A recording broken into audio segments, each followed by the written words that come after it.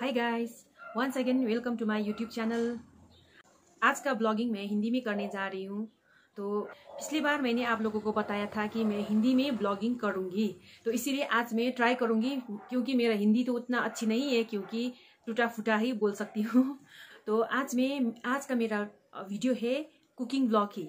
तो आप आप लोगों को आज मैं शेयर करना चाह रही हूँ खाना पका पेड़ कैसा होता है। और मैंने पहले एक स्टार्टिंग में वीडियो बनाया था राइट ट्रेडिशनल फ़ूड करके एक वाचिपा रेसिपी बनाया था। तो उसी तरह का एक रेसिपी बनाने जा रही हूँ। वो भी राय का ही एक पारंपरिक फ़ूड है। वो फूल से बनता है। वो एक फूल है। वो फूल को मैं अब दिखाऊँगी कैसा होता है, क्योंकि मैं घर गई थी पिछले बार एक हफ़्ते पहले तो उसी टाइम मैंने वो फूल तोड़ा था। तो आज मैं वो फूल का वाचिबा बनाने जा रही हूँ। तो वो फूल को दिखाने से पहले मैं आप लोगों को बताना चाहूँगी कि जितने भी मेरे चैनल पे आज आप नए आए हो प्लीज़ मेरे चैनल को सब्सक्राइब कीजिएगा और बेल आइकन को भी दबा दीजिएगा। बेल आइकन दबा दिया तो आप लोगों के पास मेरा जो भी वीडियो मैं अपलोड करूँगी, वो तुरंत आप लोगों के पास नोटिफिकेशन आ जाएगी। तो प्लीज़ आप लोग प्लीज़ मेरे चैनल को सपोर्ट कीजिए, मुझे सपोर्ट कीजिए। आप लोगों के प्यार की ज़रूरत मुझे पड़ रहा है। तो अब चलिए मैं आपको वो फूल दिखाने जा रही हूँ। देखिए, ये फूल कितना सुंदर दिख रहा है। ये हमारा घर के पास में ये, देखिए हमारा घर भी ऊपर में है और नीचे में ये फूल का बगान है। देखिए, इसमें पान भी है, पान के पत्ते। लोकल पान के पत्ते हैं। देखिए, इतना सुंदर तरीका से फूल रही है। अब मैं इसको तोड़ रही हूँ।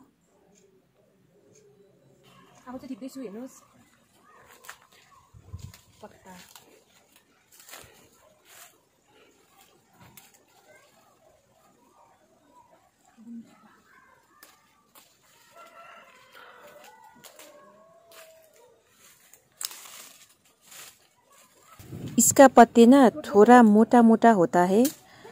और जितने भी मेरे व्यूअर्स है, आप लोगों के, आप लोगों को पता हो तो इसका दूसरा नाम क्या है, बता दीजिएगा।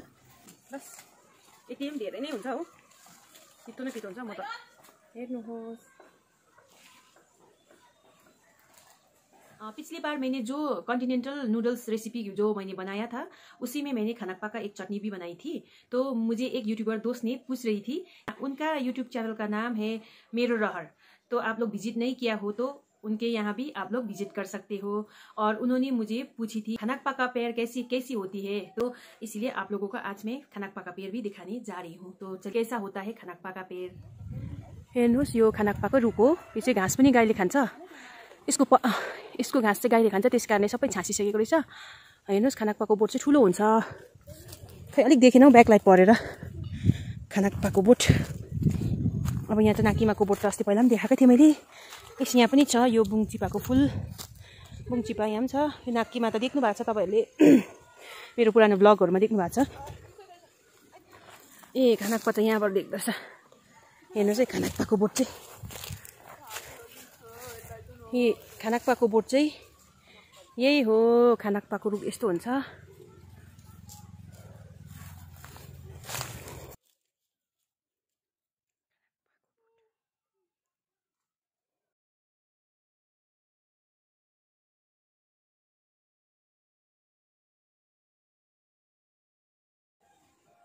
तो दोस्तों आप लोगों ने वो फूल तो देख लिया है।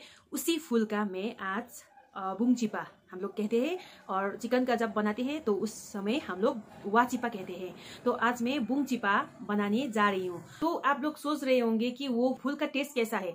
तो वो फूल का टेस्ट बहुत तीता होता है, जैसे कि करेले के जैसे। तो आइए आप लोगों को स्वागत करती हूँ, किचन पे ले जा रही हूँ। देखिए, वही फूल है जो मैंने तोड़ी थी। थोड़ा मुरझा गई एक हफ़्ते के बाद में, और इसको अच्छी तरह से सुखा के रख कर बाद में भी खा सकते हैं हम लोग। एक पतीले में अभी गर्म पानी डाल रही हूँ। उसको उबालने देती हूँ। उसके बाद में इसको अच्छी तरह से पकने देती हूँ। इतना ज़्यादा फूल में से मैंने पाँच पीस ही डाला है इसमें, क्योंकि ये भी ज़्यादा हो जाएगी, बहुत ही तीता होता है। और दूसरा टेस्ट भी बता देती हूँ आप लोगों को, ये नीम पत्ती नीम पत्ती जो जिसने भी पिया है, नीम पत्ती की जैसी भी होता है। तीता और ये जो जो इसका रस चाय के जैसे दिख रहा है, वो, ये टेसी इतना तीता होता है। मगर हमारा, हमारी दादी जी, दादाजी कहते थे, ये इसको भी रखने के लिए और एक एक चम्मच पीने के लिए बोलती थी, क्योंकि जॉन्डिस का बीमार वगैरह ठीक हो जाता है। तो देखिए, मैंने बाद में इसमें थोड़ा ठंडा पानी डाल के इसको निचोड़ रही हूँ, निकाल के। ये फूल को निकालना है। देखिए उबलने के बाद अच्छी तरह से निकल जाती है। अब इसको निचोड़ के मैं अब बनाऊँगी। देखिए, मैंने निचोड़ के एक प्लेट में रख लिया है। इसमें टमाटर, प्याज और डल्ले चिल्ली और लहसुन और अदरक भी रख दिया है। अब मैं टमाटर और प्याज को इस चॉपर में चॉप करूँगी। ये मेरा टपरवेयर का कम, है और ये मेरा पहले का लीड ख़राब हो गई थी। इस बार आउटलेट में गई तो मुझे मिल गई लीड। इसमें करने से जल्दी जल्दी काम हो जाती है। देखिए, एक ही झटके में टमाटर और प्याज का चॉप हो गया।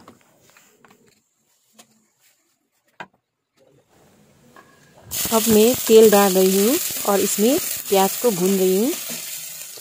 और चॉप किया हुआ टमाटर भी डाल दिया।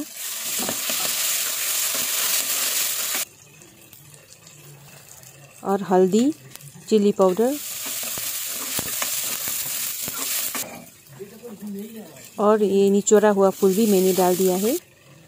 और दो तेज़पत्ता। अच्छी तरह से पानी डाल के भुनना पड़ेगा। अच्छी टेस्ट आएगी।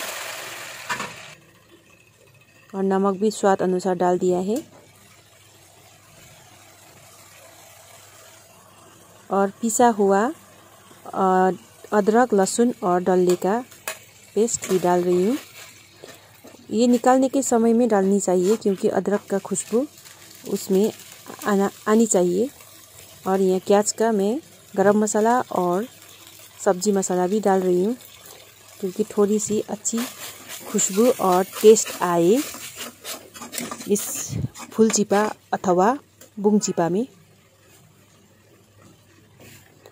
ये मेरा घर में बनाई हुई घी है। रोज़ मैं दूध लाती हूँ, उसी दूध का तौर निकाल के रखती हूँ, उसी का मैं बनाती हूँ। कभी बाज़ार से नहीं खरीदती हूँ घी। अपने हाथ की बनाई हुई घी खाने में मज़ा ही कुछ और है।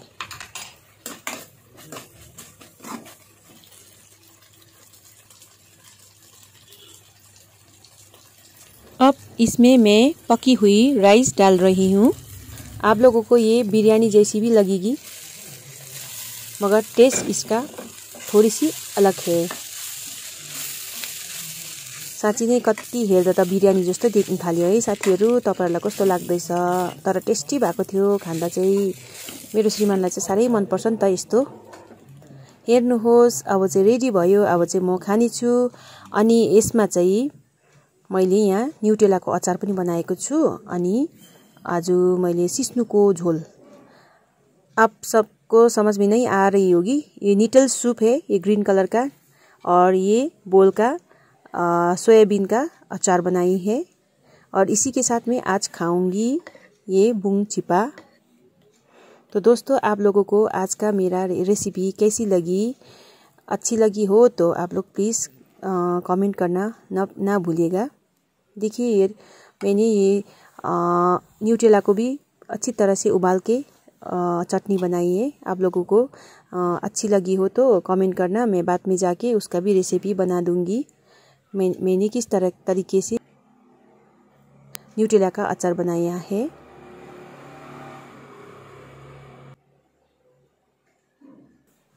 देखिए न्यूट्रल सूप भी इतना सुंदर दिख रही है। हेल्दी भी है न्यूट्रल सूप खाने में। अब मैं टेस्ट कर रही हूँ।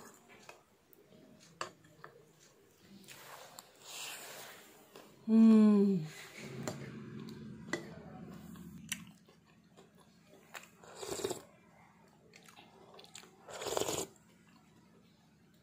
दोस्तों, मेरा हिंदी कैसी हो रही है, थोड़ा टूटी फूटी हो रही होगी, मुझे भी थोड़ा घबराहट हो रही है, क्योंकि आदत नहीं है ना हिंदी बोलने की, इसलिए। तो आज का मेरा ये बुंग चिपा का रेसिपी कैसी लगी? तो अच्छी लगी है, लगी हो अच्छा लगा हो और अच्छी लगी हो तो प्लीज़ कमेंट करना मत भूलिएगा। तो आज के लिए मेरा ब्लॉग को यहीं पर अंत करना चाहती हूँ। नेक्स्ट ब्लॉग में फिर मिलेंगे। बाय